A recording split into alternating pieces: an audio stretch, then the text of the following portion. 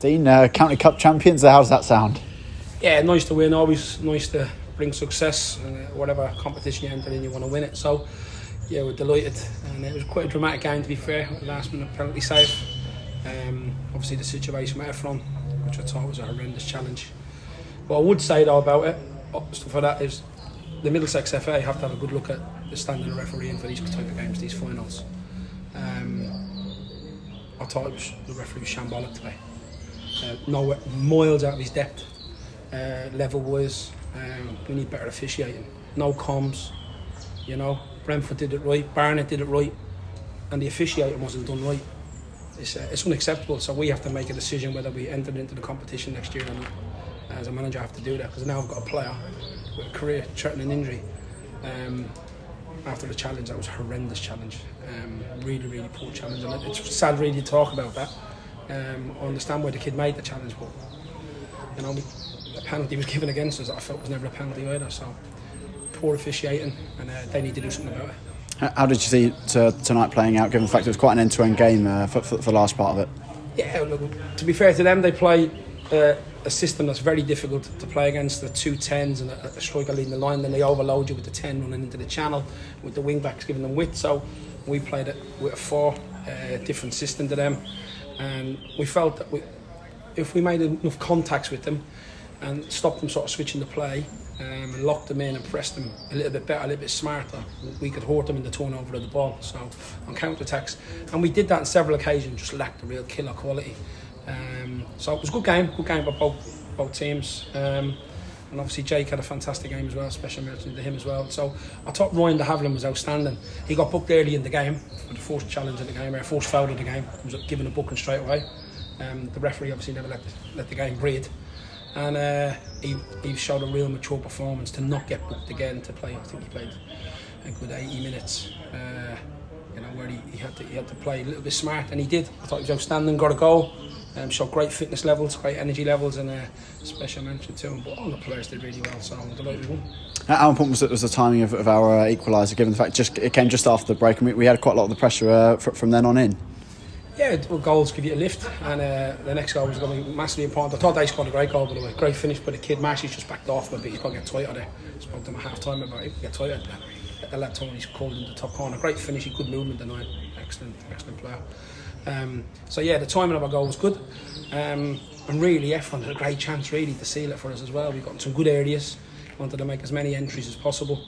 And uh, the game plan sort of walked. But look, it gone to penalties, a little bit of luck with that.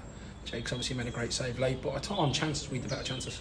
What, what were you thinking when uh, when the penalty was obviously awarded with a few minutes to go? Obviously, it was a, a huge chance for them to win it, and, and Jake's come out with a yeah, fantastic save. The thing was wasn't a penalty. I've seen I've seen it back. It was nowhere near a penalty. Ryan's got the ball, and Jake's made the save. There's always a bit of dramatic, dramaticness in, uh, in, a, in especially in the final. So um, Jake's done brilliant. Um, he's done well to bounce back from his error on Saturday. Um, so yeah, delighted for Jake, and he's he, you know good performance from Jake. Really good, mature performance from a young, from a young goalkeeper. And, and it felt like a proper cup final tonight, didn't it? Yeah, supporters were great. You know, singing it, singing us off there as well. It's great. It gives you that feel good factor. Football's about winning. You know, supporters want to see the team win. And our supporters haven't seen that for a long time. So it's just, you know, creating that winning mentality is so important for me. Um, and hopefully we can bring that into the next game. A, a few good penalties in there. Have we been practicing them uh, ahead of today? We didn't practice them. I have to be honest with you. Uh, we did a recovery session yesterday, did a little bit of team shape, and uh, I'll be lying if I told you we practiced them. We didn't. So got some good technical players. We had the tag with all the penalties, which was good.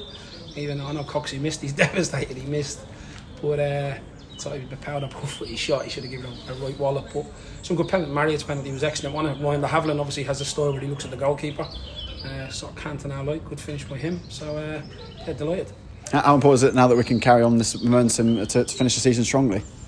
Yeah, definitely. You know, winning things gives you that momentum. It gives you confidence, and we're lacking confidence at the minute. Um, hopefully, we get a few more players back. Hopefully, Harry Taylor wasn't wasn't available today. Hopefully, he might be back. We know everyone's definitely going to be out, which is a huge blow to us. Um, he's such a big player for us. Powley's come back, and I thought he did a reliable job for us. Powley. It, was a great scenario at the back post, out the corner, and he managed to get underneath his man and make sure he didn't have a free header. It was a big moment. Just experienced that he did really well. And uh, he gave us a good shift when he came off the bench. So, yeah, um, momentum. You know, we want to build momentum and we want to finish the season strong with seven games left. So, it'd be nice to sort of try do as well as we can and go and beat them within them seven games if we can, if possible. And a special mention to our fans who didn't stop uh, singing since the first whistle. Yeah, brilliant. Great atmosphere here. Great non-league ground, isn't it? Great people down at Hampton. Um, you know, and, and they've done really well. They've hosted the, they've hosted the game really well. So it's a proper uh, it's a proper non-league ground, and it's uh, our supporters. Yeah, I'm delighted for them. I'm delighted for our supporters. Uh, hopefully we can keep sticking together. So we've got to keep sticking together. We've got to keep driving forward together. And once our players give their all, there's no more you can ask of any man in this world. So they've done that today.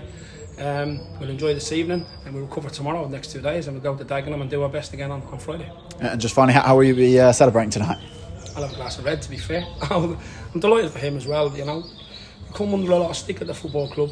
Um, it's fair to town, he's honest, he says it how it is, and, and we've built an unbelievable football club. We, my job now is to make sure on the pitch we get it right. Um, and like I say, we're looking for an honest, and that's all our supporters want, they just want honesty. And uh, that's my job to make sure we continue to do that. Thanks for your time and congratulations Cheers. on the win.